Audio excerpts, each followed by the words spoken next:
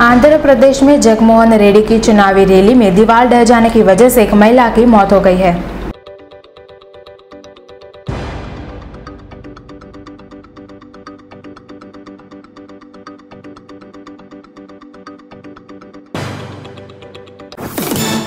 अभिनेता शत्रुघ्न सिन्हा कांग्रेस में शामिल हो गए हैं।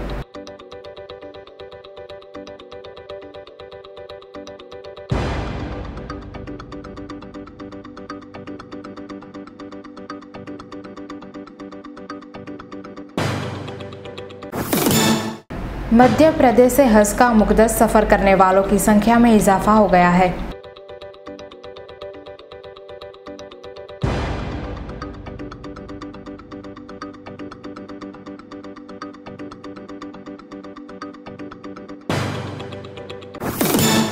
एक जुलाई से शुरू होने वाली अमरनाथ यात्रा की रजिस्ट्रेशन 2 अप्रैल से शुरू हो जाएगी।